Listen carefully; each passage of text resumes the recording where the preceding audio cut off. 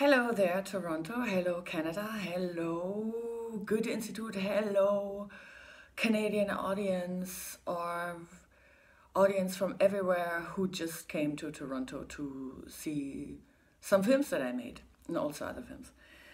So, I was told that there is some mid career retrospective, which astounds me because I have the feeling I haven't done so much but obviously uh, uh, some people think it's worth showing, which is great. And I thank you so much, Goethe Institute, for for doing this, and also uh, I thank the Toronto International Film Festival for making this possible. Also, I heard, or I can read it now. I want to be honest, that that um, in the Aisles and Finsterworld are premiering in Toronto uh, in the midst of this retrospective, which is nice and I hope you have a lot of fun with it and um, a lot to talk about afterwards.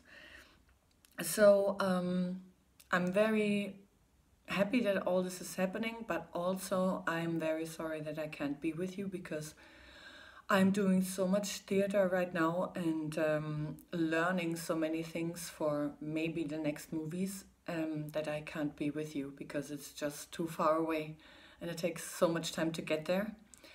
But um, I hope I will see you next time when the festival is taking place and wish you all the best and see you. Bye.